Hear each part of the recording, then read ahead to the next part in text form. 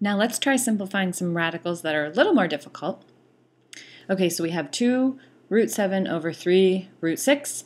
So again, we're not allowed to have radicals in the denominator, so we're just going to multiply by root 6 over root 6. So that'll solve our problem there. Okay, so again, 2 will stay the way it is, and then the root 7 times the root 6 is just going to be root 42 and then the 3 stays the way it is, and then the square root of 6 times the square root of 6 is 6. Perfect. And then the numerator is going to stay the same, 2 root 42. And then 3 times 6 is 18. So you may think you're done, but remember you got to check to see if anything can divide out. So obviously 2 over, this, uh, over 18 can be simplified, okay? Um, they are both divisible by 2. So if we divide this by 2, we get 1. If we divide this by 2, we get 9. So that will bring us to 1 times square root of 42 is just the square root of 42 over uh, 9. Perfect.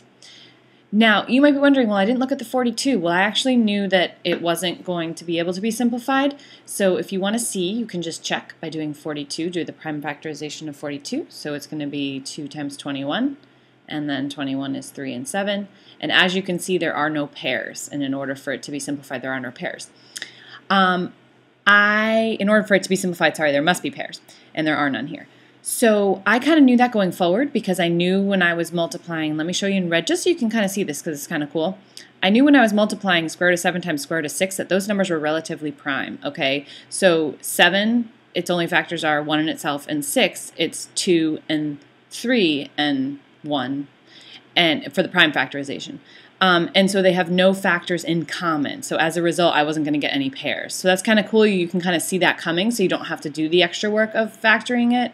Um, but if you want to factor it, just to be sure, you go for it. Uh, you have to do what's best for you and what helps you understand it the best. Um, but you could have caught it up here um, knowing that 7 and 6 have no factors in common. They are relatively prime. Okay, so let's try one more. Okay, so how about this one? Um, the square root of 24 over 2 root 10. All right, so the first thing I'm going to do here is I'm going to realize that I want to pull out a 1 half. So it's really the square root of 24, we could think of it as 1 root 24. And I'm just merely showing this to illustrate a point so that you can see where I'm coming from when I do this over 2 root 10. So really there's a 1 half right here. Okay, do you see that? So because it's all multiplication, I can just pull out the 1 half and then do times root 24 over root 10. Okay, now I'm going to do that so I can more easily see this piece right here. Okay, now, so I'm going to come up here. Okay, so now I've got the 1 half out front and times, and remember that property that allowed us to change it from root 24 over root 10 to just simply root um, 24 over 10?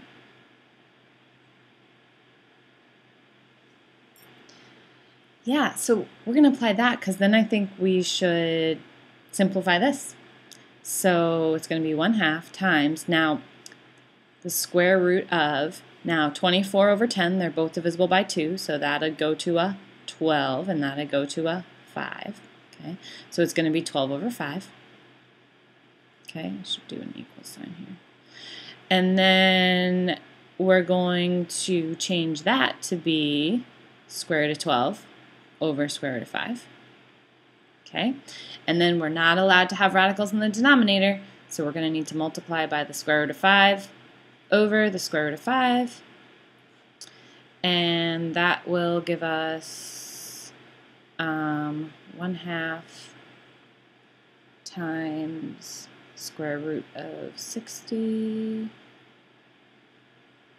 over 5. Okay, so then what I'm going to do at this point um, is, I'm going to come up here. So then I'm going to show you that this ends up being, we can multiply across, so 1 times the square root of 60 is just root 60, and then 2 times 5 is 10. Then I want to simplify out the um, root 60. So that can be rewritten as 2 root 15.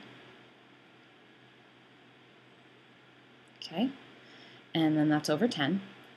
And then check one more time, make sure nothing can divide out, and look 2 and 10, they have a common factor of 2, so I'm going to divide the numerator and the denominator by 2.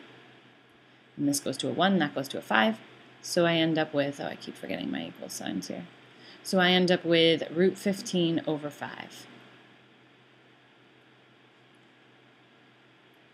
And that's going to be your answer right there.